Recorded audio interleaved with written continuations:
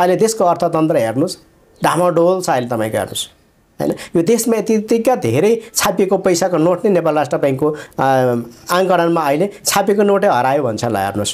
भनेपछि देशको अर्थनीति के भइसक्यो डामाडोल भइसक्यो भइसकेन? यो देशमा भन्छुन छ काम छ भन्छुन छैन काम केही पनि छैन। किन छैन भन्दाखेरि यो देश सिस्टममा चलेको छैन कि?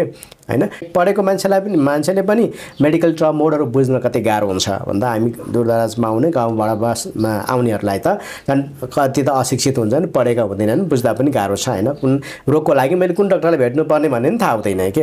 होइन? समस्या यहाँनिर छ राम्रो चिजलाई अगाडिको सरकारले बनाएको नीति कार्यक्रमलाई पछिल्लो आएको सरकारले कार्यान्वयनमा ल्याउँदै ल्याउँदैनन् होइन? प्रतिशोधको रूपमा आउँछन् उसले बनाएको नीति तथा कार्यक्रमलाई भाताभुङ्ग बनाउने अनि आफूले फेरि नयाँ बनाउने।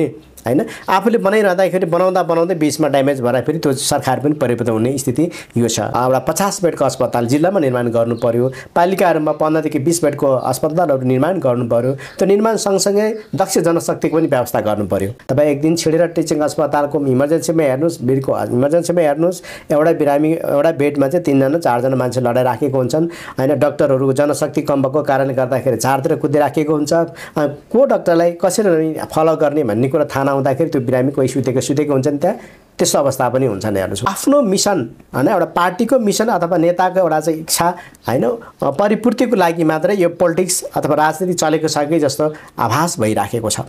कहिले कोसँग समीकरण गरेको छ कहिले कोसँग समीकरण गरेको छ होइन दुई दिन एउटा सरकार बनेको छ चार दिन अर्को सरकार बनेको छ। दर्शकबिन नमस्कार।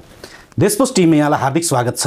आज हामी खोटाङेको खोजीमा अभियान अन्तर्गत खोटाङ जिल्ला दिक्तेल रूपाकोट मझगडी नगरपालिका वडा नम्बर तिन तामराङको माटोले जन्माएका एक हस्ती जो देशको राजधानी काठमाडौँमा रहेर स्वास्थ्य व्यवसायको क्षेत्रमा लामो समयदेखि खोटाङे नागरिकहरूलाई मलमपट्टिको रूपमा काम गर्दै आउनुभएका त्यस्ता व्यक्तिसँग आज हामी कुराकानी गर्छौँ। मेरिडियन हेल्थ केयर सेन्टरका सञ्चालक देवान राईसँग आज हामी कुराकानी गर्छौँ। दूरदराज खोटाङ जिल्ला जो पूर्वको कर्णाली भनेर चिनिन्थ्यो आजको दिनमा यातायातको सुविधा भए पनि स्वास्थ्यको समस्याका कारणले गर्दा हेली चार्टर गर्नुपर्ने समस्या त्यसै गरी लामो बाटो जो चाहिँ एम्बुलेन्समा यात्रा गरिरहँदाखेरि बाटैमा मृत्यु हुने समस्याहरू जो चाहिँ बिरामीहरू त्यस्ता खालको समस्याहरू सिर्जना भइरहेको अवस्था छ यो तितो यथार्थ हो। यो अवस्थालाई सामान्य गराउनको निमित्त एउटा सामाजिक अभियन्ताका हिसाबले स्वास्थ्य व्यवसायीका हिसाबले र राजनीतिक कर्मीका हिसाबले उहाँले खेल्नु भएको खोटाङ्गे नागरिकहरूलाई दिनुभएको योगदानका विषयमा आज हामी चर्चा गर्छौँ। त्यसै गरी समसामयिक राजनीतिको विषयमा पनि आज हामी कुराकानी गर्छौँ। नेकपा एमाले कोशी प्रदेशको सदस्यको रूपमा राजनीति गरिरहनुभएका व्यक्ति देवन राईसँग आज हामी कुराकानी गर्छौँ। आउनुहोस् दर्शकबिन उहाँसँग हामी कुराकानी गरौँ। देवन सर यहाँलाई देशपोस्ट टिममा हार्दिक स्वागत छ। हार्दिक धन्यवाद। सर्वप्रथम त मलाई यहाँहरूले यहाँहरूको यो देश पोस्ट टिभीमा आफ्नो विचार राख्ने एउटा अवसर दिँदै हुनुहुन्छ। त्यसको लागि तपाईँ लगायत सम्पूर्ण तपाईँको टिमलाई म हार्दिक स्वागत र हार्दिक धन्यवाद व्यक्त गर्न चाहन्छु। आजको बसाइको सुरुवात चाहिँ कसरी गरौँ भने नि खास गरेर पूर्वको कर्णालीको रूपमा चिनिने खोटाङ कुनै बेला धेरै लामो समय भएकै छैन खोटाङमा यातायातको सुविधा पुगेको। यो फेरि फेरिमा धेरै खोटाङीहरूले ज्यान गुमाउनु पर्यो जो स्वास्थ्यको कारणले गर्दाखेरि समयमा उपचार नपाएर प्रविधिको चाहिँ पहुँच नहुनु त्यसै गरी चाहिँ दक्ष जनशक्ति जो स्वास्थ्य कर्मीहरूको पहुँच नहुनु यी आदि कारणले गर्दाखेरि र समयमै सुविधायुक्त अस्पतालमा पुग्न नसक्ने कारणले गर्दाखेरि धेरै खोटाङे जो सुत्केरी यी यस्ता खालका चाहिँ समस्याहरू भएको मान्छेहरूले ज्यान गुमाउनु पर्यो। यो हिजोको तितो यथार्थ हो र आजको दिनमा पनि लामो दूरीका कारणले गर्दाखेरि ती समस्या र समयमै यातायातको सुविधा प्राप्त आजको दिनमा पनि नहुनुको कारणले गर्दाखेरि थुप्रै खोटाङीहरूले चाहिँ दुःख पाउनु परेको अवस्था छ। खास गरेर यहाँ स्वास्थ्य व्यवसायी को हिसाबले र सामाजिक अभियन्ताका हिसाबले पनि खोटाङ्गे नागरिकहरूलाई योगदान पुर्याउँदै आउनुभएको छ। खास यहाँसँग कस्तो कस्ता खालका बिरामीहरू ठोकिन्छन् अथवा चाहिँ सहयोग लिनको लागि चाहिँ तपाईँको चाहिँ सहयोग माग्छन् अथवा चाहिँ त्यहाँको खास समस्या के छ? आजको दिनमा यो कुराको बारेमा हामी थोरै चर्चा गर्न खोजेको। सुरुवात यहीँबाट गरौँ। खास तपाईँसँग कस्तो कस्तो खालको चाहिँ समस्याहरू आइपुग्छन्? धन्यवाद प्रश्नको लागि। प्रश्न वास्तवमा आफैमा साथै जटिल छ। मानिसको स्वास्थ्य भनेको सबैभन्दा महत्त्वपूर्ण विषय हो। स्वास्थ्य नै मानिसको पहिलो सर्वप्रथम सम्पत्ति हो। हेल्थ इज वेल्थ भन्ने गरिन्छ। त्यसले गर्दाखेरि यो स्वास्थ्य जस्तो जटिल विषय र संवेदनशील विषयमा काठमाडौँको नजरले खोटाङ एउटा दूरदराज एउटा भेगमा पर्छ एउटा विकट जिल्लामा पर्छ खोटाङ। म वास्तवमा चाहिँ खोटाङको बामाङको माटोमा जन्मिएको एउटा अ, मैले पनि खोटाङको अनगिन्ती समस्याहरू आफैले पनि भोगेका छु र कति मैले देखेका छु र कति ती भगाइहरूमा मेरो चाहिँ साथ सहयोग र समर्थन र सपोर्ट रहेको छ मेरो क्षमताले भइन्छ खोटाङको जनताले त्यसो सबै कारणले गर्दाखेरि स्वास्थ्य क्षेत्रमा दुःख पाएका छन्। एक त खोटाङ विकट नै हो। अहिले यातायातको हिसाबले भर्खरै मात्रै अलिकति एक्सेस पुगेको छ। एउटा वास्तवमै दुःखद कुरा हो यो। खोटाङमा एउटा राज्यले पनि जिल्ला स्तरीय अलिकति सुसम्पन्न प्राविधिकयुक्त अस्पतालको चाहिँ सञ्चालन गर्न नसक्नु र त्यहाँ आवश्यकता अनुसारको जनशक्ति परिचालन गर्न नसक्नु अ, त्यस यी सबै कुराले गर्दाखेरि खोटाङको बिरामीहरूले खोटाङको जनताहरूले सानोतिनो बिरामी हुँदाखेरि पनि हेलीको माध्यमद्वारा यातायातको अभावको कारणले गर्दाखेरि धेरै पैसा तिरेर उपचारको भन्दा पनि यातायातको शीर्षकमा पैसा बढी खर्च गरेर काटाउनु पर्ने आउनुपर्ने अवस्था थियो र अझै पनि छ। यो जबसम्म राज्यले यस स्वास्थ्य क्षेत्रलाई र गम्भीरताको पूर्वक जिल्लाहरूमा सुसम्पन्न अस्पताल सञ्चालन गर्न सक्दैन तबसम्म यो सबै जिल्लामा यस्तो समस्या भोग्नुपर्ने हुन्छ खोटाङले मात्रै होइन। तर खोटाङको सन्दर्भमा कुरा गर्नुपर्दाखेरि म यो स्वास्थ्य क्षेत्रमा निरन्तर आज बिस वर्ष म लागि परेको। म काठमाडौँमा दुई हजार पचास सालमा उच्च शिक्षा हासिल गर्नको निम्ति भनेर म काठमाडौँ आएको हुँ। मलाई यो क्षेत्रमा केही गर्नुपर्छ भन्ने खालको मनबाटै जागेको हुनाले अब मैले आफ्नो बुवा आफ्नो मम्मी त बिताइसकेँ मेरो भनौँ न बुवा मम्मीलाई त मैले गुमाइसकेँ तर समाजमा अझै पनि हजारौँ मम्मी र बुवाहरू छन् जसको कारणले गर्दाखेरि मैले सेवा गर्न सकौँ भन्ने यसको सोचको साथ मै क्षेत्रमा लागेँ।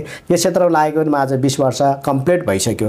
यो बिस वर्षको अन्तरमा मैले धेरै समस्याहरू देख्छु राज्यको तर्फबाट पनि त्यति नै मैले देख्छु। राजनीतिक अन यो अस्थिरताको कारणले गर्दाखेरि पनि राज्यको पोलिसीहरू कार्यान्वयन जुन ढङ्गले हुनुपर्ने हो। त्यो ढङ्गले नहुँदाको अवस्थामा पनि जनताले चाहिँ यो समस्या भोग्नु परेको अवस्थाहरू हो। तसर्थ खोटाङबाट आउने बिरामीहरू र त्यहाँ धेरैभन्दा धेरै मैले देखिराखेको छु त्यहाँबाट यहाँ आएका बिरामीहरूको सन्दर्भमा जस्तै दुर्घटना एक्सिडेन्ट पर्छ।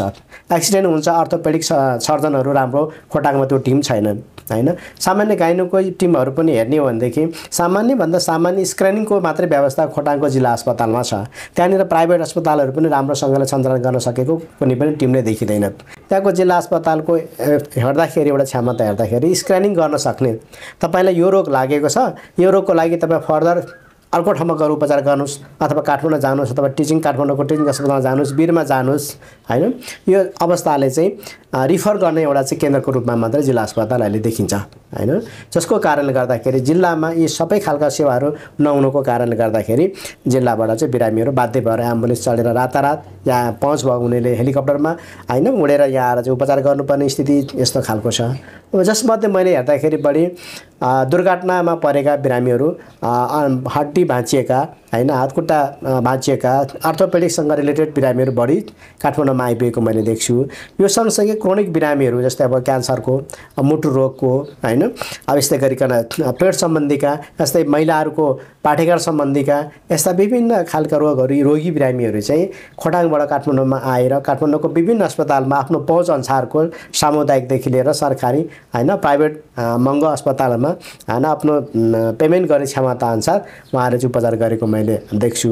र यो सन्दर्भमा म एउटा चाहिँ स्वास्थ्य व्यवसाय पनि भएको नाताले र एउटा सामाजिक अभियन्ता भएको पनि नाताले र त्योसँग जोडिएका सबै पनि एउटा विषयहरूलाई मैले चाहिँ मसँग सम्पर्कमा आउनुहुन्छ। मैले सक्दो मैले सेवाहरू दिने गरेको छु। हस्पिटलहरूमा समन्वयकारी भूमिका खेलिदिने गरेको छु। कुन रोगको लागि कस्तो खालको डक्टर चाहिने हो त्यो डक्टरको बारेमा मैले सुझाव सल्लाह दिने गरेका छु। र इभन मेरै यही मेरिडियन हेल्थ केयर सेन्टरमा पनि आइएम भनेको टिचिङ अस्पतालको प्रोफेसर लेभलका डक्टरहरू पच्चिस तिसजनाको टिम काम गर्नुहुन्छ। यदि उहाँ यहाँ चाहिँ मेरोमा चाहिँ तपाईँको चाहिँ अब इन्डोर सर्भिस छैन आउटडोर सर्भिस मात्रै हो। यहाँ पनि मैले पनि स्क्यानिङ गरिदिने मात्रै हो। अनि स्क्यानिङ गरेर अपरेसन गर्नुपर्ने खालको बिरामीहरूलाई हामी अपरेसन गरेर यहाँ राख्दैनौँ। र इन्डोर सिस्टम हामीसँग एडमिट गरेर राख्ने बिरामी हाम्रो त्यो क्षमता पनि हाम्रो साइम कहाँ छैन। त्यसले गर्दाखेरि सामान्य रूपमा आएको बिरामीहरूलाई सिनियर डक्टरसँग कन्सल्टेसन गराएर अनि उहाँको रोगहरू के हो डायग्नोसिस गराइदिने औषधि सामान्य औषधिले उहाँहरूको निदान हुन्छ भने सामान्य औषधिद्वारा नै उहाँहरूको उपचार सम्पन्न गराइदिने। अदरवाइज हस्पिटलमा गएर चाहिँ एडमिट भएर गर्नुपर्ने फर्दर उपचारको लागि उहाँहरूलाई हामीले चाहिँ सुझाव सल्लाह दिन्छौँ। कुन उहाँ हस्पिटलमा रुचाउनुहुन्छ टिचिङमा म टिचिङमै सहयोग गरिदिने गरेको छु। होइन सामुदायिक जस्तो सामुदायिक पनि हेल्पिङ अस्पताल छ यहाँ बिपिएस स्मित अस्पताल छ त्यो सामान्य पेमेन्टमा काम उहाँ सेवा लिन सक्ने। अनि योभन्दा अलिकति माथिल्लो स्तरमा जाने भनेदेखि छ नि महँगा अस्पतालहरू जति पनि खोलेका उहाँहरू त्यहाँ जाने गर्छन्। र त्यहाँ जाँदाखेरिको अवस्थामा मेरो भूमिका भनेको सरल र सहज ढङ्गले त्यहाँको डक्टरसँग कोअर्डिनेसन गरिदिएर उहाँहरूलाई उपचार दिलाइदिने यो खालको कामहरू म अनेक ठ्याक्कै हजुरले भनिरहँदाखेरि जोड्न पर्ने र त्यो भन्नै पर्ने कुरा के छ भने दूरदराज गाउँबाट चाहिँ जो बिरामीहरू आउनुहुन्छ उहाँहरूको पहिलो कुरा त पैसा पनि हुँदैन दोस्रो कुरा पावर पनि हुँदैन चिन्जान पनि हुँदैन। भनेपछि त्यो अन्धधुन्द काठमाडौँ आइपुगेका मान्छेहरूले अब सरकारी अस्पतालमा जाँदा लामो समय चाहिँ त्यो पर्खिनु पर्ने एउटा ठुलो समस्याको रूपमा त्यो समस्या छ भनौँ न। मतलब चाहिँ डक्टरको चाहिँ पालो कुर्नु पर्ने पर्खिनु पर्ने अर्को समस्या चाहिँ पैसा हुँदैन। पैसा नभएका मान्छेहरू नै फेरि पनि यहाँ आइपुग्ने हुन्। भनिसके पछाडि त्यस्ता मान्छेहरूलाई चाहिँ सेवा दिनको लागि चाहिँ कहाँ जाने अथवा लिनको लागि कहाँ जाने र कसलाई भेट्ने भन्ने बारेमा पनि ज्ञान हुँदैन। यो त वास्तवमा भन्यो भने ठुलो समस्या हो नि त। यो खोटाङको मात्रै समस्या होइन। यो हजुरले भन्नुभयो यो यो देशभरिकै समस्या हो। जो कि मान्छेहरूसँग पहुँच पनि हुँदैन पैसा पनि हुँदैन। अनि चाहिँ चिन्जान पनि हुँदैन। आफ्नो सुनिदिने मान्छे पनि हुँदैन। यो त समस्याको रूपमा चाहिँ होइन एउटा विकराल समस्या हो यो। सहज हिसाबले चाहिँ राज्यबाट अथवा चाहिँ राज्यले चाहिँ प्रदान गर्ने सेवाहरू प्राप्त गर्नको निमित्त राज्य सरकारले खेल्नुपर्ने भूमिका कस्तो हुनुपर्छ होला तपाईँको विचारमा? यो चिज धेरै महत्त्वपूर्ण विषय हो। कसरी राज्यले समेट्नुपर्ने विषयहरू धेरै छन्। स्वास्थ्य क्षेत्र भनेको धेरै भाष क्षेत्र हो एउटा मात्र नभएर। यो समुद्र जस्तो यो एकदमै गहिरो र एकदमै भाष भएको क्षेत्र हो यो स्वास्थ्य क्षेत्र भनेको होइन? र सरकारको जुन एक खालको पोलिसी छ पोलिसी त सरकारको राम्रो छ तर कार्यान्वयनमा समस्या छ है? जसको कारणले गर्दाखेरि सरकारसँग यथेष्ट आफूले दिन सक्ने क्यापेसिटी भएको हस्पिटलहरू पहिला नम्बरमा अभाव छ। जस्तै टिचिङको कुरा गरौँ बिरको कुरा गरौँ नेपालको नेसनल रिफरल सेन्टर भनेको हस्पिटलको रूपमा अहिले देखिएको भनेको टिचिङ अस्पताल महाराजगञ्ज र वीर अस्पताल नै हामीले मान्ने गर्छौँ। होइन यो दुईवटा अस्पतालमा चाहिँ सुविधा सम्पन्न सबै खालको सेवाहरू पाउँछन्। वरिष्ठ डक्टरको हुन्छन् र चिप एन्ड बेस्ट होइन सबैभन्दा सस्तो रूपमा सरकारको अनुदानमा चलेको अस्पताल भएको कारणले गर्दाखेरि यो दुईवटा अस्पताललाई रेफरको रूपमा नेसनल वाइज लिने गर्छन् होइन? अब यो यो क्षेत्रमा समस्या के छ भन्दाखेरि सारा देशबाट रिफर भएर आउने क्षेत्र हो। सस्तो पनि छ र सर्भिस राम्रो पनि छ। होइन? स्वभावले त्यहाँनिर बिरामीको भिड लाग्छ। तर त्यहाँको काम गर्ने क्षमता त्यहाँको बेडको क्षमता त जनशक्तिको क्षमता कम छ होइन? कम भएको कारणले गर्दाखेरि यो देश एउटा चाहिँ सिस्टममा नहिँडेको कारणले गर्दाखेरि भनसुनको त्यति नै आवश्यकता पर्ने नि भयो। यो देशमा भनसुन छ काम छ भनसुन छैन काम केही पनि छैन। किन छैन भन्दाखेरि यो देश सिस्टममा चलेको छैन कि? होइन? अस्त व्यस्त भएर चलेको हुनाले अस्त व्यस्त ढङ्गले चाहिँ यो सि- यो चल्नु परेको अवस्थामा मान्छेले शास्ति पाउँछन् बिरामीले सेवा गरेर शास्ति पाइराखेको छन् होइन? दूरदराजबाट आउने मान्छेहरूलाई वास्तवमा यहाँको संसार केही नै बुझेकै हुँदैन। अझै भन्ने भनेदेखि मेडिकल टर्म वर्ड पनि बुझ्दैनन् क्या हामीले। बुझ्दैको हुँदैनौँ। एक पढेको मान्छेलाई पनि मान्छेले पनि मेडिकल टर्म वर्डहरू बुझ्न कति गाह्रो हुन्छ। भन्दा हामी दूरदराजमा आउने गाउँबाट बसमा आउनेहरूलाई त झन् कति त अशिक्षित हुन्छन् पढेका हुँदैनन् बुझ्दा पनि गाह्रो छ होइन? कुन रोगको लागि मैले कुन डक्टरलाई भेट्नुपर्ने भन्ने पनि थाहा हुँदैन के। होइन? समस्या यहाँनिर छ। मलाई एउटा रिफरर व्यक्तिको रूपमा मान्छेले चिन्ने गर्छ। रिफरर अस्पतालको बिचमा रूपमा चाहिँ टिचिङ अस्पताललाई चिन्छन् भने म चाहिँ एउटा रिफरर व्यक्तिको रूपमा मलाई चिन्ने गर्छन् कि यो मान्छेलाई हामीले सम्पर्क गर्न सक्यो भने हाम्रो रोग सम्बन्धीको उचित डक्टर र उचित अस्पताल बताइदिन्छ होइन? तपाईँ एक दिन छिडेर टिचिङ अस्पतालको इमर्जेन्सीमा हेर्नुहोस् भिडको इमर्जेन्सीमा हेर्नुहोस् एउटा बिरामी एउटा बेडमा चाहिँ तिनजना चारजना मान्छे लडाइराखेको हुन्छन् होइन? डक्टरहरू जनशक्ति कम भएको कारणले गर्दाखेरि चारतिर कुदिराखेको हुन्छ को डक्टरलाई कसरी फलो गर्ने भन्ने कुरा थाहा नहुँदाखेरि त्यो बिरामी कोही सुतेको सुतेको हुन्छन् त्यहाँ। त्यस्तो अवस्था पनि हुन्छन् हेर्नुहोस् उपचार आ, त- को लागि आएको हो अब उसले फलोअपै गर्न सकिरहेको हुँदैनन् होइन? त्यसले गर्दाखेरि त्यस्तो अवस्थामा मैले होइन अब दैनिकी जस्तो बिरामी धेरै आउँछन् बाहिरबाट। मैले सहज गर्ने कामहरू गरिदिन्छु। टिचिङ अस्पतालमा अर्को त बेड पाउँदैन समस्या होइन? सरकारी अस्पतालको एउटा यो समस्या छ होइन? किन उनीहरूको क्षमताभन्दा बिरामीको चाप बढी छ। अब मान्छेले के चाहन्छन् पहिलाको त सरल सुलभ ढङ्गले सेवा लिनु जसको पनि चाहना हुन्छ। सस्तोमा होस् राम्रो होस् भने त सबैलाई लाग्छ नि होइन? जति पनि बाहिरी क्षेत्रहरूमा एक्सिडेन्ट हुन्छन् काठमाडौँको बिरजपुर ट्रमामा आउने गर्छन् त्यहाँ हेर्नुहोस् बग्रेली त्यहाँनिर देखिन्छन् होइन? अब अन्य खालको क्रोनिक रोगहरूको बाहिर उपचार हुन नसक्ने रोगहरू टिचिङ आइएममा आउने गर्छन् होइन? त्यहाँ त्यस्तै बग्रेली देखिन्छन्। यस्तो अवस्थामा के छ भने हजुरले भने जस्तै पहुँचको कुरा यहाँनिर चाहिँ आवश्यक पर्छन् होइन? पहुँच भन्नाले त्यस्तो पहुँच त होइन तर अस्तव्यस्त सिस्टम भएको कारणले गर्दाखेरि भन्छन् हल्लै मेरो बिरामी हो डाक्टर साहब। ह्यान्डल गरिदिनुहोस् अलिकति समय थोरै निकालिदिनुहोस् अस्तव्यस्त हुँदाहुँदै पनि होइन तपाईँले यो बिचमा पनि थोरै एडजस्ट गरिदिनुहोस् भन्नुपर्ने अवस्था आउँछ। त्यसैलाई यहाँ के भनिन्छ भने पहुँच भनिन्छन् चिन्जानको माध्यम भनिन्छन् पावर भन्ने गरिन्छन् होइन। स्वभावले यो चिज आवश्यकता छ। यो चिज भएन भने वास्तवमा दुःख पाउँछ मान्छेले। एक त स्वास्थ्य क्षेत्र आफैमा कन्फ्युजन क्षेत्र हो। मलाई कुन रोग लाग्यो मैले कुन डक्टरलाई भेट्नुपर्छ भन्ने कुरा हामीमा ज्ञान कम हुन्छ होइन। त्यसले गर्दाखेरि पनि मान्छे अल्मलिन्छन्। अब यस सन्दर्भमा हेर्दाखेरि राज्यले गर्नुपर्ने धेरै कुराहरू छ। अब हजुरले भन्नुभयो राज्यको दायित्व राज्यले के गर्नु पर्ला भन्ने सन्दर्भमा मैले देख्दाखेरि मेरो आँखाले देख्नु पर्दाखेरि चाहिँ जिल्लामा करिबन पनि एउटा पचास बेडको अस्पताल जिल्लामा निर्माण गर्नु पऱ्यो पालिकाहरूमा पन्ध्रदेखि बिस बेडको अस्पतालहरू निर्माण गर्नु पऱ्यो त्यो निर्माण सँगसँगै दक्ष जनशक्तिको पनि व्यवस्था गर्नु पऱ्यो एउटा समस्या के छ भने हामी कहाँ दक्ष जनशक्ति हामी कहाँ कम छ नेपालमा होइन? अहिले तपाईँको चाहिँ के छ भने एकजना डक्टरले करिबन पनि यहाँ चाहिँ तपाईँको मेडिकल साइन्सले एक व्यक्ति एक डक्टरले सातजना बिरामी ह्यान्डल गर्ने भन्ने चाहिँ एउटा मेथड हुन्छ। तर यहाँ चाहिँ नेपालमा हेर्ने भने सात हजारभन्दा बढीलाई चाहिँ ह्यान्डल गर्नुपर्ने कन्डिसन छ। भनेको मतलब के हो भन्दाखेरि हामीसँग प्राविधिक जनशक्ति नै कम छ कि? जन यो चाहिँ नि जनसङ्ख्याको हिसाबले हेर्ने भने हामीसँग चाहिँ उत्पादन कम छ। होइन? त्यो उत्पादन भएको पनि नेपालमा खपत हुन सक्ने स्थिति भएन बाहिर जाने गर्छन्। त्यसले गर्दाखेरि कम जनशक्तिले धेरै काम भ्याउनु पर्ने अवस्था चाहिँ छ हामीसँग। त्यसले गर्दा राज्यले यो कुरामा ध्यान दिनुपर्छ। श्रेष्ठ भएर चाहिँ कसरी जनशक्ति उत्पादन गर्ने र उत्पादन गरेर कसरी होइन अब चाहिँ विभिन्न जिल्लामा चाहिँ खटाउने र केन्द्रमा भएको अस्पतालको अझै क्षमता कसरी वृद्धि गर्ने होइन? बिरामीको फ्लो बढी छ तर बिरामी बिरामीको चापलाई धान्न सक्ने त्यहाँको चाहिँ जनशक्तिहरू त्यहाँको चाहिँ हस्पिटलको इन्फ्रास्ट्रक्चरहरू सुविधाहरू होइन? त्यहाँको बेडको क्षमताहरू छैन। जस्तै टिचिङ अस्पतालकै कुरा गर्ने हो भने पनि यहाँनिर चाहिँ टिचिङ अस्पतालको क्षमता मैले जहाँसम्म बुझ्दाखेरि साढे तिन सय बेड हो त्यो अस्पताल साढे टिचिङ अस्पताल। टिचिङ अस्पताल पच्चिस सय बेडको बनायो भने पनि त्यो प्रेसर धान्न बिरामी कम हुन सक्ने स्थिति रहँदैन त्यति चापमा छ होइन? त्यो लेभलले दैनिकी सरकारले क्यापेसिटी पनि आफ्नो बढाउनु पऱ्यो त्यो सँगसँगै जिल्लामा पनि अब विकेन्द्रीकृत हाम्रो त सिस्टम हो नि त राज्यको नीति त अहिले। हामी त संहितामा गइसक्यौँ। संहितालाई वास्तवमै संहिताको मर्मअनुसार कार्यान्वयन पनि गर्नु पर्यो।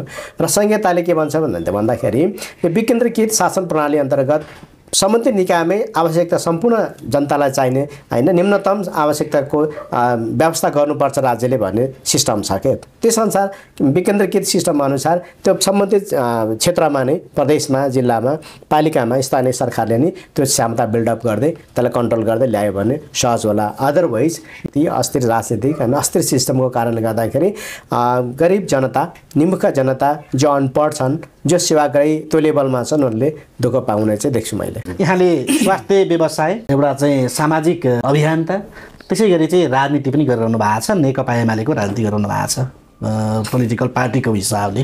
विभिन्न सङ्घर्षका कारणले गर्दा नेपालमा गणतन्त्रको चाहिँ स्थापना भयो उदय भयो। उदय भइसके पछाडि राज्य सङ्घीयतामा गयो। सङ्घीयतामा गइसके पछाडि सिंहदरबारको अधिकार चाहिँ घर घरमा पुर्याउने भनियो नाराहरू विभिन्न लाइयो। आजको दिनमा पनि नागरिकहरूको अवस्था भने उस्तै देखिन्छ। व्यवस्था फेरियो तर अवस्था उस्तै छ। जो आवाज बिहिनेहरूको आवाज अहिले पनि बुलन्द गर्न सक्ने अवस्था छैन। जो चाहिँ स्थानीय सरकार हो अथवा प्रदेश सरकार र सङ्घीय सरकार यो यो चाहिँ सरकारको अनुभूति गर्न सक्ने अवस्था अहिले पनि ग्रास लेभलका अथवा चाहिँ दूरदराजका नागरिकहरूको छैन। जो चाहिँ सरकार मेरो छ नि भन्ने अनुभूति गर्न सक्ने अवस्था छैन। मैले जोड्न खोजेको कुरा के हो भने यहाँहरूले गरिरहनु भएको राजनीति र सिस्टममा चाहिँ हेरफेर गर्ने कुरा अथवा चाहिँ यहाँको नेतृत्व सरकारमा हुँदाखेरि चाहिँ स्वास्थ्यको क्षेत्रमा गरेको योगदानका कुरा अथवा चाहिँ तिन हजार हस्पिटलहरू चाहिँ एकै दिन चाहिँ तपाईँको केपी ओलीज्यूले चाहिँ हस्पिटल बनाउने भनेर चाहिँ जुन निर्णय गर्नुभयो त्यो अवस्था आजको दिनमा कहाँ पुग्यो एउटा कुरा। अर्को कुरा मेडिकल कलेजहरूको सन्दर्भमा ठुलो यो देशमा चाहिँ जो डक्टरहरू उत्पादन गर्नुपर्ने हो जो ठुलो धेरै खर्च गरेर चाहिँ विदेशमा चाहिँ गएर पढ्नुपर्ने अवस्था छ। जुन चाहिँ तपाईँहरूकै अथवा चाहिँ नेकपा एमालेकै सरकार हुँदाखेरि स्वास्थ्य मन्त्री शेरबहादुर तामाङले छोटो कुरा बोल्दाखेरि उहाँले राजीनामै दिनुपर्ने अवस्था पनि आयो। कुरा विदेशको हो विदेश गएर पढ्नुपर्ने अवस्था छ र त्यहाँ त्यति सहज पनि छैन भन्ने सवालका कुराहरू हुन्। खास जनताले खोजेको चाहिँ के थियो भने हाम्रो दुःखको दिन गए संहिता आयो गणतन्त्र आयो अब चाहिँ हाम्रो सबै समस्याहरू चाहिँ हल भयो। विशेष गरेर चाहिँ तपाईँले अघि भनिसक्नुभयो स्वास्थ्य भनेको त जटिल कुरा हो हेल्थ इज वेल स्वास्थ्य नै सम्प धन हो सम्पत्ति हो। तर भयो चाहिँ के त? खासमा राजनीतिले गर्नुपर्ने के थियो? यहाँहरूको नेतृत्वले के गर्यो र अहिलेको अवस्था के हो? यो यो समसामयिक विषयमा कुराकानी गरौँ न। पहिला कुरा त हजुरले सरकारको बारेमा उठाउनु भयो राजनीतिको सन्दर्भमा उठाउनु भयो अ, म अब थोरै मेरो भूमिका म जहिले पनि आफूलाई दुईवटा ठान्ने गरेको छु। एउटा गरेर हिँड्ने एउटा गरेर खाने भनेर। गरेर खाने म स्वास्थ्य क्षेत्रमा म मिहिनेत गर्छु। यो सेवा प्रदायक क्षेत्र हो। यस क्षेत्रमा आफूलाई रोजीरोटीको बन्दोबस्त गरेर हिँड्छु भने गरेर हिँड्ने मेरो अर्को क्षेत्र भनेको राजनीतिक हो। मैले राजनीति गरेको पनि अहिले पैँतिस वर्ष भइसक्यो। म विद्यार्थी राजनीतिकदेखि नै सुरुवात गरेको। राजनीतिक विभिन्न तहर तबकाको जिम्मेवारी लिँदै हिजो अस्ति नेकपा एमाले र नेकपा हुँदाखेरि जब सङ्कट पऱ्यो त्यतिखेर सङ्कटकालीन म केन्द्रीय सदस्यको रूपमा पनि काम गरेँ भएर अहिले म एक नम्बर प्रदेश अर्थात् भर्खरै मात्रै नामाकरण भएको कोशी प्रदेशको म सदस्यको रूपमा पनि पार्टीमा नेकपा एमालेको एउटा कार्यकर्ताको रूपमा काम गरिराखेको छु। गणतन्त्र आयो होइन लोकतन्त्र आयो सङ्घीयता पनि आयो यी सबै हामीले पाइरहँदा यी सबै चिजहरूको लागि हामी आन्दोलित भइरहँदा सबै चिजको लागि हामी आन्दोलन गरिरहँदाखेरि हामीले चाहेको विषय हामीले चाहेको आवश्यकता होइन यी चिजहरू पाउन सकेला भन्ने अपेक्षा राखेको थियो।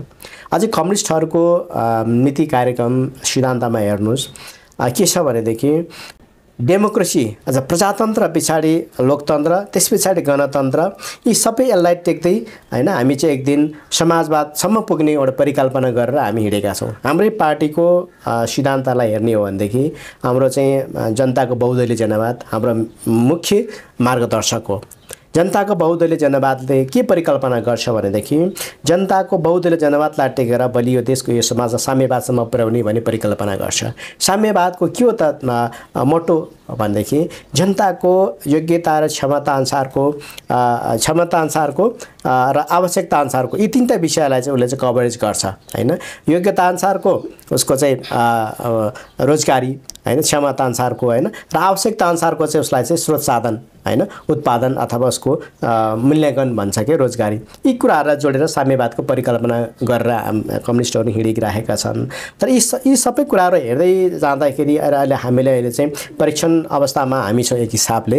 यो जनताले भोगिरहेको अवस्था के छ भन्दाखेरि अहिलेको अवस्थामा आइपुग्दाखेरि चाहिँ यो देशमा सरकार त छ भन्ने कन्डिसनमा क्वेसन मार्क मैले चाहिँ उठेको देख्छु हेर्नुहोस् है। यो देशमा सरकार छ कि छैन? भन्ने जनतालाई एउटा चाहिँ एक खालको रणबुल्ल हो कि जस्तो मलाई लाग्छ हेर्नुहोस्। अब हेर्नुहोस् देशको स्थिति हेर्नुहोस् शासन व्यवस्थाको स्थिति। हजुरले अघि नै ब्याकग्राउन्डमा भनिसक्नुभयो व्यवस्था त बदलियो अवस्था त जस्ताको तस्तै छ त। अवस्था त जस्ताको तस्तै भइदिए पनि हुन्थ्यो। त्योभन्दा पनि नाजुक भइराखेको छ हेर्नुहोस्। अहिले देशको अर्थतन्त्र हेर्नुहोस् डामाडोल छ अहिले तपाईँको हेर्नुहोस्। होइन? यो देशमा यतिका धेरै छापिएको पैसाको नोट नै नेपाल राष्ट्र ब्याङ्कको अ, आङ्कडानमा अहिले छापिएको नोटै हरायो भन्छ ल हेर्नुहोस्। भनेपछि देशको अर्थनीति के भइसक्यो? डामाडोल भइसक्यो। कि भइसकेन। ब्याङ्कमा हेर्नुहोस् पैसा छैन। तपाईँको चाहिँ गरी चाहिँ सहकारीतिर हेर्नु सबै टाट पल्टिसकेको छ। ब्याङ्कहरू सबै करप्ट हुन आँटिसकेको छ। भने चाहिँ देशको अर्थनीति हेर्दाखेरि भयावह छ। अनि यस यो सरकार छ भने राज्य छ भने यसको लागि किन सोचिराखेको छैन? त्यस्तो कारणले गर्दाखेरि हेर्नुहोस् व्यवसायहरूलाई त्यति नै समस्या छ। होइन? व्यवसायले सहज ढङ्गले चाहिँ सञ्चालन गर्न सकिराखेको छैन। यो देशको अस्थिरताको कारणले गर्दाखेरि हो। पोलिटिकल्ली अस्थिरताको कारणले गर्दाखेरि हो। अब आयो तपाईँको चाहिन्छ कि राजनीतिक अहिलेको जुन समीकरणलाई हेर्ने हो भने पनि होइन? अहिले राजनीतिक समीकरणलाई हेर्ने हो भने एक खालको यो चाहिँ आफ्नो मिसन होइन? एउटा पार्टीको मिसन अथवा नेताको एउटा चाहिँ इच्छा होइन? परिपूर्तिको लागि मात्रै यो पोलिटिक्स अथवा राजनीति चलेको छ कि जस्तो आभास भइराखेको छ। कहिले कोसँग समीकरण गरेको छ कहिले कोसँग समीकरण गरेको छ होइन? दुई दिन एउटा सरकार बनेको छ चार दिन अर्को सरकार बनेको छ। यो यो ढङ्गको स्थिति हामीले देखिराखेका छौँ होइन? यसको चपेटा कहाँ गइराखेका छन्? तमाम जनताले जुन एक्सपेक्ट गरेको छ जुन काठमाडौँको सिंहदरबार होइन? गाउँ गाउँमा पुर्याउने भन्ने खालको नीति थियो यो संहिताको परिकल्पना थियो। त यो चिजलाई यसले चाहिँ असाध्यै धावा बोलिराखेको छ। जबसम्म यो देशमा पोलिटिकल्ली स्टाबिलिटी हुँदैन राजनीतिक स्थिरता हुँदैन अस्थिरता भइरहन्छ तबसम्म यो समस्याग्रस्तबाट यो देशमाथि आउन सक्दैन। जनताले परिकल्पना गरेको अनुसारको होइन सोच र सङ्घीयताले दिने खालको चाहिँ परिकल्पना जनताको बिचमा पुग्दैन जसको कारणले गर्दा जनताको अवस्था झन् दयनीय हुँदै जाँदैछ। होइन अब व्यवस्थालाई बदलियौँ भनेर चाहिँ हामीले चाहिँ भनिरहँदाखेरि जनताको अवस्था चाहिँ झन्सार दयनीय भएको देखिन्छ अहिलेको परिस्थितिले। मैले ठ्याक्कै यहीँ जोड्न खोजिरहेको कुरा के थियो भने नि जुन मेडिकल कलेजको कुरा यो यो बेला बेलामा चाहिँ यो यो एउटा चाहिँ ठुलो होइन एउटा सङ्घर्षको कुरा यो चाहिँ नि भनौँ न बेला बेला आन्दोलनको कुरा उठिरहने कुरा होइन एउटा एउटा एउटा कुरा जो चाहिँ दक्ष जनशक्ति उत्पादनको सन्दर्भ छ।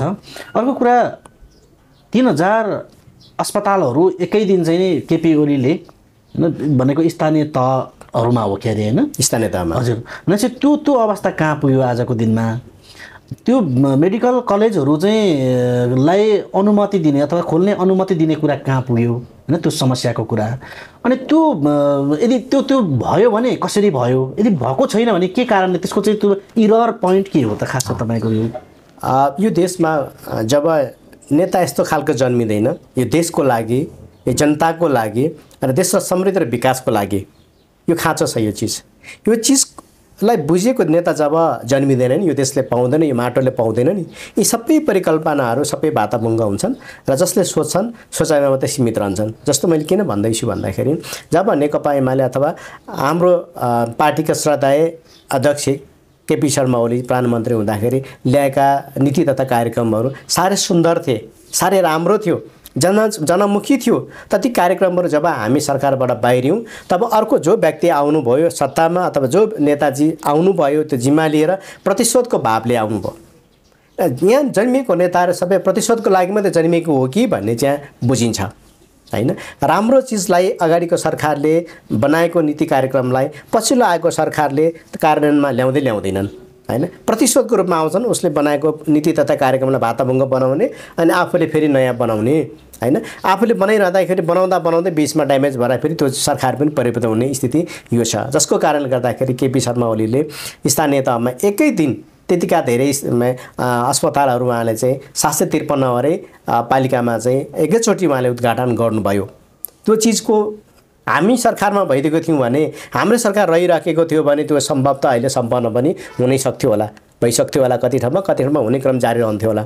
तर हामी सरकारबाट बाहिरिने बित्तिकै अर्को पार्टीका राजनीतिक दलका सरकारमा आए उनीहरूले त्यो प्रोग्राम त्यो क्यान्सल त्यो प्रोग्रामलाई नै थाँती राखिदिए होइन? जस्तै आएर चाहिँ गएर चाहिँ यो प्रतिशोधको भाव लिएर जब यो देशमा नेता जन्मिन्छन् नि यो कुनै पनि विकासको लागि यो सुब्बे फापे हुँदैन। जस्तै हाम्रो प्राण पार्टीका आ, श्रद्धेय नेता प्रधानमन्त्री हुँदाखेरि उहाँले ट्विन ट्विन विस्थापितको कुरा गर्नुभयो। र त्यहाँ चाहिँ झोलिङ्गे पुलको स्थापितको कुरा गर्नुभयो। त्यो हामीले लगभग लगभग नाइन्टी प्रतिशत चाहिँ हामीले कार्यान्वयनमा ल्याइसकेका छौँ। त केही बाँकी थिए त्यो फेरि अधुरै छ। ती अस्पताल घोषणा गरियो उद्घाटन गरियो त्यो अधुरै छ। के हो त भन्दाखेरि पोलिटिकली इरर भनेको यही हो। पोलिटिकल इगो नै इरर हो यसको मेन कुरा। जबसम्म पोलिटिकली इगो हामीसँग रहिरहँदैन रहिरहन्छ त्यसलाई हामीले सामा सामान्य रूपमा लिन सक्दैनौँ। जनताको जनहितको लागि हामीले काम गर्नुपर्छ भनेर बुझ्दैनौँ। तबसम्म यस्तो पोलिटिकली इरर भइरहन्छ। पोलिटिकली इरर भएपछि कुराहरूले जहिले पनि स्पेस पाइरहन्छ। रह्यो अघि तपाईँले उठाउनु भयो मेडिकल कलेजहरूको स्थापितको कुराहरू सञ्चालनको कुराहरू र जनशक्ति दक्ष जनशक्तिको उत्पादनको कुराहरू। यो देशलाई दक्ष जनशक्ति कति अभाव छ कति अभाव छ है। तर यो देशमा जुन मेडिकल कलेजहरू सञ्चालन गर्नु जुन रूपमा पर्ने हो त्यो रूपमा आम रूपमा गर्न पाइराखेको छैन।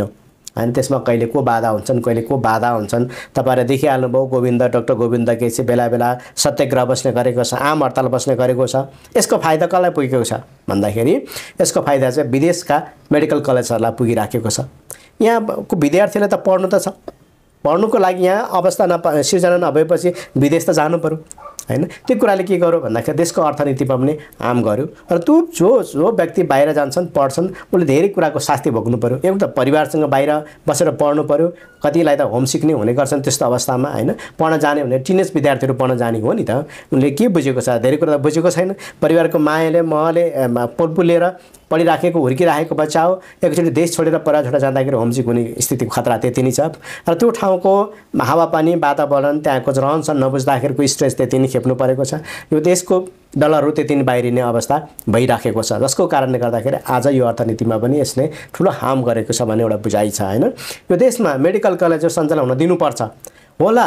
राज्यको निकायले त्यसको लागि मोनिटरिङको लागि निरीक्षणको लागि होइन के के गर्नुपर्ने? त्यो चिज त राज्यले बिल्डअप गर्दै जाने हो नि त। राज्यको क्षमता छैन भन्दैमा चाहिँ एकजना भोक हडताल बस्दिने सत्याग्रहमा उत्रिदिने अनि त्यसैको न्यु पारेर चाहिँ राज्यलाई चाहिँ सञ्चालन स्वीकृति नदिने। यो त्यसले त राज्यलाई कता लग्छ भन्दाखेरि ब्याक लग्छ के? फ्रन्ट लानै लाँदैन नि त। राज्य त पछाडि पछाडि भइरहन्छ नि त। जसले गर्दा यो कुरामा राज्य स्ट्रङली आउनुपर्छ। राज्य स्ट्रङली आउनको लागि पोलिटिकल इस्टाब्लिस हुनुपर्छ। स्थायी सरकार आउनुपर्छ। जब स्थायी सरकार आउन सक्दैन पोलिटिक्स इस्टाब्लिस हुँदैन।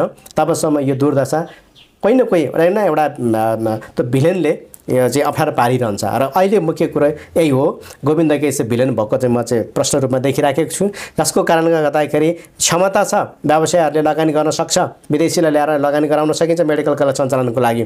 तर स्वीकृति दिने सम्भावना छैन। स्वीकृति नपाएपछि के हो भन्दाखेरि विद्यार्थीहरू बाहिर गएर पढ्नु परेको छ। स्थिति यो हो। तर यो सहज परिस्थिति होइन। यसको लागि राज्य आफै स्ट्रङ हुनु जरुर छ। राज्य स्ट्रङ हुनुको लागि राजनीतिक स्टाबिलिटी भनेको हुन जरुर छ। हजुर। आजको बसाइमा हामी चाहिँ अन्त अन्ततिर छौँ। अब हामी लगभग दुईवटा कुरा गर्छौँ। दुईवटा क्वेसन म गर्छु विशेष गरेर। यहाँलाई एउटा क्वेसन के हो भने आजको दिनमा यहाँको मूल पार्टी नेकपा एमाले जो चाहिँ हिजो भनौँ न सरकारमा सहभागी पनि थियो सहभागी नभएको पनि भन्न सकिन्छ अथवा होइन यो यो अवस्था छ भनेको सहभागी हो या चाहिँ प्रतिपक्षी हो? दरो प्रतिपक्षको रूपमा पनि चाहिँ आफ्नो भूमिका निर्वाह गर्न नसकिरहेको अवस्था। फेरि सरकारमै पनि पुरै पूर्ण सहभागी नभएको अवस्था अहिलेको अवस्था हो। भनेपछि यो यो सबै कुरालाई चाहिँ एउटा चाहिँ राज्यको सञ्चालन गर्ने सरकार सञ्चालन गर्ने सन्दर्भमा प्रमुख प्रतिपक्षको भूमिका पनि त त्यति नै महत्त्वपूर्ण हुँदो हो। अबको दिनमा नेकपा एमालेको भूमिका के हुन्छ होला? अबको परिस्थितिमा नेकपा एमाले दरो प्रतिपक्षको रूपमा उम्नेछन् पौषको दस गतेदेखि फागुनको पच्चिस गतेसम्म हामी या सत्तामा थियौँ या प्रतिपक्षको बिचबिचमा थियौँ। एउटा समयले हामीलाई त्यो खालको अवस्थामा ल्याएको थियो। तर फागुनको पच्चिस गतेले हामीलाई क्लियर गरिदिइसकेको छ हामी प्रतिपक्षमा हो। हामी प्रतिपक्षको रूपमा बसेर प्रतिकार गर्नेछौँ। राम्रो कुरालाई समर्थन गर्नुपर्छ हामी गर्नेछौँ। राज्य सरकारले लिएका राम्रो नीति तथा कार्यक्रमलाई हामी प्रतिपक्षमा रहेर समर्थन गर्नेछौँ। र नराम्रो कुराको हामीले चाहिँ भण्डाफोर गर्नेछौँ। जसको कारणले गर्दा जनतालाई राहत मिलोस् जनताको जनमुखी कार्यक्रम ल्याउँछ देशको विकासको लागि ल्याउँछ समृद्धिको ल्याउँछ सरकारले हामी समर्थन गर्छौँ खुलेर समर्थन गर्छौँ। तर त्यहाँ होइन निज स्वार्थको लागि केही खिचडी पकाउनको निमित्त यस्ता खालका नीति तथा कार्यक्रम ल्याउँछ भने हामी भण्डाफोर गर्छौँ सदनमा पनि गर्छौँ र सडकमा पनि गर्छौँ। र फागुनको पच्चिस गतेदेखि हामी एकदमै दोहोरो रूपमा चाहिँ हामी प्रतिपक्षीको रूपमा हामी रहेको छौँ र हामी रहनेछौँ। अब हामी अर्को निर्वाचनसम्मको लागिलाई नेकपा एमाले सरकारमा जाँदैन र दोहोरो प्रतिपक्षीको रूपमा जान्छन् र सरकारलाई खबरदारी गर्छन् र जनताको हितमा काम गर्छन्। त्यसैको शुद्धिकरणको लागि नेकपा एमाले अहिले ग्रासरुट अभियानको कार्यक्रम सञ्चालन गरिराखेका छौँ र हामीले अब ग्रासरुटबाटै तल ग्रासबाटै जनतालाई सबै कुराहरू बुझाउनुपर्छ। देशको अर्थनीतिको बारेमा देशको सुशासनको बारेमा देशको अर्थव्यवस्थाको बारेमा देशको पोलिटिक्सको बारेमा देशमा भइरहेको खिचडीहरूको बारेमा। त्यसैले गर्दाखेरि नेकपा एमाले एकदमै सिरियस भएर अब सत्ता र सरकार होइन अब जनता जनताको बिचमा जानेछन् जनताको बिचमा काम गर्नेछन् जनतालाई बुझाउनेछन् र जनताबाट यो सम्भव छ यो। कोही नेता र कोही व्यक्तिबाट सम्भव छैन। त्यसैले गर्दाखेरि यो अब व्यवस्था बदलियो। अवस्था बदल्ने हो भने वास्तवमै जनताबाटै सम्भव छ। त्यसले गर्दा जनताकै अवस्थालाई हामीले चाहिँ बदल्ने हो त्यसै जनताको बिचमा हामी गइराखेका छौँ र ग्रासरुटको मिसन ग्रासरुट भनेर दुई महिना अभियान हामीले सञ्चालन गरिराखेका छौँ। त्यसले गर्दाखेरि अब नेकपा एमालेको भूमिका भनेको प्रष्ट प्रतिपक्षी हो। हामीलाई सरकार र हामीको लोभ पनि छैन सरकारमा जानु पनि छैन। हामी जनताको हितमा चाहिँ काम गर्ने हो जन जनताको बिचमा जाने हो। हामी सरकारमा जाने होइन हामी जनताको बिचमा जाने हो। हाम्रो सदन चाहिएन। हामीलाई सडक काफी छ।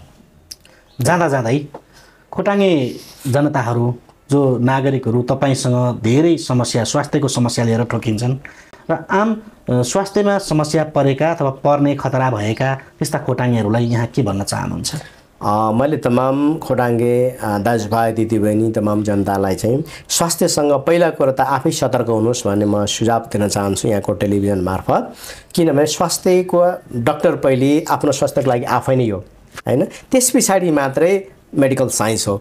पहिलो डक्टर आफू भएको कारणले गर्दा खानपिनमा एक्सर्साइजमा र धेरै कुराहरू पहाडी बेल्टमा चाहिँ मध्यपानमा चाहिँ धेरै हामी रम्ने गर्छौँ। त्यो मध्यपानलाई कटौती गर्ने धुम्रपानलाई कटौती गर्ने र शारीरिक व्यायामहरूलाई ध्यान दिने खानपिनलाई अलिकति म्यानेज गर्ने र पहिला कुरो त आफू पनि स्वस्थ हुने यस कुरालाई चाहिँ म सुझाव दिन चाहन्छु। यो चाहिँ जरुरी छ। अहिले हामी आधुनिक जीवनशैली बिताउन थालिसकेका छौँ। होइन गाउँघरमा पनि हिजो हाम्रो अवस्थामा जुन थियो गाउँघरमा खालको काम गरिने किसानहरू अहिले त्यस्तै ढङ्गले काम गरिँदैन। होइन शारीरिक श्रमहरू अहिले चाहिँ गर्न छोडिसक्यौँ हामीले। मानसिक श्रमहरू गर्नपट्टि हामी बढी अहिले लालायत भइसकेका छौँ। होइन मानसिक श्रमले चाहिँ जहिले पनि दुईवटा कुराको उत्पादन गर्छ। एउटा चाहिँ स्ट्रेसलाई हार्म गर्दै शारीरिक रूपमा चाहिँ अस चाहिँ अस्तव्यस्त ल्याउने काम गर्छ। त्यसले गर्दाखेरि त्यसलाई ख्याल गर्नुपर्ने एउटा पहिला कुरा छ होइन? त्यो हुँदाहुँदै पनि अब बिरामी त भइहाल्छ रोग त लागि नै हाल्छ होइन? रोग लागिसकेपछि सकेसम्म अब समयमै ट्रिटमेन्ट गर्ने बेला बेलामा आफ्नो स्वास्थ्यको बारेमा जानकारी लिने मेडिकल साइन्सले के भन्छ भने वर्षको एकपटक तपाईँको बारेमा बुझ्नुहोस् आफै भन्छ। है त्यो भनेको वर्षमा एकचोटि आफ्नो डक्टरसँग सल्लाह लिने परामर्श लिने आफ्नो बारेमा होल बडी प्याकेजको सिस्टम छ अहिले आएको हरेक अस्पतालहरूमा। होल बडी चेकअप गर्ने डक्टरसँग कन्सल्टेसन गरिरहने आफ्नो बारेमा केही टेस्टहरू गरिरहने होइन विशेष गरेर चालिस काटिसकेपछि हामीलाई रोगहरूको धेरै बोर्डर लाइनमा हामी पुग्छौँ। युरिक एसिड भयो मुटु सम्बन्धीका भयो होइन प्रेसरहरूका भयो डायबिटिजका भयो यी चिजहरू हामी सबैले चालिस काटिसकेको अधिकांशलाई यो नजिक नजिक नजिक नजिक आइराखेको हुन्छ। त्यसको लागि बेला बखत फिजिसियन डक्टरसँग सल्लाह परामर्श लिइरहने। चेक गर्नुपर्ने कुराहरू चेक गर्ने एउटा कुरा त्यो भयो। र दोस्रो कुरो अब यदि हुँदाहुँदै पनि रोगलाई हामीले चाहिँ अब रोक्न सकिँदैन। उसको आफ्नो काम मैले गरेर रहँदाखेरि हामीले पनि हाम्रो काम गर्नु पऱ्यो होइन? हामीले हाम्रो काम गर्न ती मैले अहिले बताएका कुरा दुईवटा कुरा भयो भने तेस्रो कुरा चाहिँ खोटाङमा त्यसो भएको परिस्थितिमा अब खोटाङमा जिल्ला अस्पतालहरू छ स्वास्थ्य केन्द्रहरू छ त्यहाँ उपचार हुन नसक्ने कुराहरूमा काठमाडौँ स्वभावैले आउनै पर्छ हामीले चाहे बाई रोड होस् चाहे बाई फ्लाइट होस् होइन? आइसकेपछि हामीले सकेसम्म एउटा चाहिँ कुन अस्पतालमा रिफर गर्ने हो त्यहीँबाट रिफर लिएर चाहिँ आएर होइन डक्टरलाई सम्बन्धन गर्ने। त्यो सँगसँगै खोटाङ्गे जनताको लागि त म अब सबैसँग परिचित जस्तै छु यो स्वास्थ्य क्षेत्रको उसमा चाहिँ। यदि त्यस्तो रह्यो भने मलाई उहाँले सम्पर्क गर्नुभयो भने पनि कुन रोगको लागि होइन कुन डक्टर राम्रो हुन्छ होइन काठमाडौँमा आइसकेपछि रोग विशेषज्ञ डक्टरलाई हामीले रोजी रोजी उपचार लिन पाउँछौँ हामीले होइन। त्यस अनुसारको चाहिँ डक्टरको लागिलाई होइन अब सुझाव सल्लाह चाहन्छन् भने म यहाँको टेलिभिजन मार्फत होइन अब म सन्देश दिन चाहन्छु खडाङ्गे तमाम जनताहरूलाई। अब स्वास्थ्य सम्बन्धीको परामर्शको लागि कुन अस्पतालमा जानुपर्छ कुन रोगको लागि कुन डक्टरलाई भेट्दाखेरि राम्रो हुन्छ भन्ने सन्दर्भमा जिज्ञासा लाग्छ भनेदेखि मलाई उहाँले सम्पर्क गर्न सक्नुहुन्छ। म अवरात उहाँहरूको लागि मैले सेवाको लागि मैले सकेसम्म मैले खटेर मैले गरि पनि राखेको छु र गर्ने पनि छु भन्ने पनि तपाईँको टेलिभिजन मार्फत मैले बाचा व्यक्त गर्न चाहन्छु र हिजो कोरोनाको बेलामा पनि खोडाङको जनताहरू धेरै कोरोना लागेर काठमाडौँमा अनगिन्ती आए। होइन मैले धेरैलाई मैले उद्धार गरेको छु। होइन धेरैलाई मैले चाहिँ त्यो बेलामा यस्तो काठमाडौँमा पनि यस्तो परिस्थिति थियो। घरमा डबल ताला लगाएर बस्नुपर्ने स्थिति थियो। एउटा चाहिँ आफूले ताला लगाएर चाहिँ बस्नुपर्ने स्थिति भने अर्को कोरोनाको हल्लाको अर्को डबल ताला लगाएर बस्नुपर्ने र आफू बस्नुपर्ने स्थिति त्यो त्यो स्थिति थियो। तर त्यो स्थितिमा पनि मैले खोडाङ्गा जनताको लागि मैले कहिले पनि आफूलाई प्रवाह गरिनँ। आफूले सेफ साइड अपनाउनु पर्ने कुराहरूमा जहिले पनि म सेफ्टी अपनाएँ। तर म सेफ्टी अपनाउँदै अपनाउँदै हरेक अस्पतालमा गएर उताबाट आउने बिरामीहरूलाई चाहिँ मैले चाहिँ जाने अस्पतालमा चाहिँ गएर कोर्डिनेसन गरिदिने डक्टरलाई भनिदिने बिरामीलाई होइन सबै खालको मैले चाहिँ अब नि शुल्क उपचारदेखि लिएर नि शुल्क सबै व्यवस्था औषधि समेत व्यवस्थापन गरिदिएर मैले धेरै खोडाङको चाहिन्छ गरी बिरामीहरूलाई मैले निको बनाएर घर फर्काइदिएका छु होइन। त्यसले गर्दाखेरि चाहिँ हिजो त्यस्तो अवस्थामा खोडाङको जनताहरू काठमाडौँमा रहेका छन् होइन। विशेष परिस्थितिको कारणले गर्दाखेरि बाहिर फिल्डमा निस्केर काम गरेर चाहिँ गुजरात टार्नुपर्ने स्थिति थियो त्यो सम्भव थिएन। त्यस्तो बेलामा पनि मैले खोडाङ्गा जनतालाई घर घरमा खोजी खोजी हुनेसँग लिने नहुनेलाई दिने भन्ने अभियान चलाएर मान्य विशाल भट्टराईको साथमा हामी घर घर हजारौँको घरमा गएर चाहिँ हामीले खाद्यान्न पनि वितरण गरेका छौँ होइन? त्यसले गर्दाखेरि म निर्धक्क भन्न चाहन्छु खोटाङ्गे जनताहरूको लागिलाई खोटाङ्गे दाजुभाइ तथा दिदीबहिनीहरूलाई।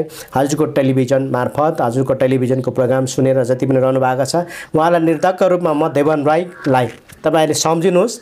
म चाहिँ समस्याको लागि म एउटा चाहिँ पुल हो। होइन कुनै पनि यो स्वास्थ्य क्षेत्रमा चाहिँ म एउटा पुलको रूपमा चाहिँ रहिराखेको छु। र मैले कुन अस्पतालमा कुन रोगलाई कसरी चाहिँ निको बनाउँछ मुटु रोगलाई होइन कुन कुन अस्पतालमा ठिक हुन्छ अर्को रोगलाई कुन कुन ठिक हुन्छ होइन त्यो सबै खालको चाहिँ मैले चाहिँ जानेर बुझेसम्म चाहिँ होइन सम्मेलनकारी भूमिका निर्वाह गरिदिन्छु भन्ने बाचा गर्दै हुन्छ। देवान सर यहाँले निकै महत्त्वपूर्ण समय हामीलाई दिनुभयो। विशेष कुराकानी गऱ्यौँ आज हामीले। र यो भिडियो हेरिसके पछाडि उहाँहरूलाई पनि एउटा ठुलो इन्फर्मेसन ठुलो सूचना चाहिँ होइन एउटा जानकारी चाहिँ उहाँहरूलाई पनि प्राप्त हुन्छ भन्ने लाग्छ। र यो महत्त्वपूर्ण समय यहाँले दिनुभयो। यो संवादका लागि यहाँलाई विशेष विशेष धन्यवाद दिन चाहन्छु। धन्यवाद। विशेष गरेर म यो देश पोस्टको सम्पादक तपाईँ लाई विशेष धन्यवाद दिन चाहन्छु। लगायत तपाईँको टिम प्राविधिक टिम लगायत सम्पूर्ण टिमलाई म हार्दिक धन्यवाद दिन चाहन्छु। तपाईँहरूले मलाई आफ्नो विचार राख्ने एउटा मौका दिनुभयो समय दिनुभयो र मेरै यस आफ्नो साझा चौतारीमा आइदिएर चाहिँ होइन मेरो एउटा शब्द राख्ने मेरो विचार राख्ने एउटा सन्देश दिने एउटा चाहिँ अवसर दिनुभयो। सर्वप्रथम म तपाईँ लगायत सम्पूर्ण तपाईँको यो देश पोस्टको टिमलाई हार्दिक धन्यवाद दिन चाहन्छु। मरिमरी धन्यवाद। धन्यवाद।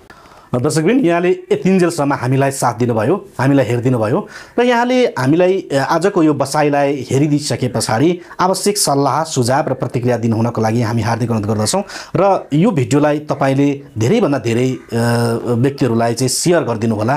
जुन आजको बसाइले आजको चाहिँ जानकारी सबै नागरिकहरूलाई होस् र जसको कारणले गर्दाखेरि उहाँहरूले फाइदा लिन सक्नुहोस् उहाँहरूको सुस्वास्थ्यको कामना पनि गर्दछौँ र यो भिडियोलाई सब्सक्राइब गरिदिनु हुनको लागि हार्दिक अनुरोध गर्दै म कार्यक्रम प्रस्तुता लोकमणि रिजाल बिदा हुन चाहन्छु। धन्यवाद नमस्कार।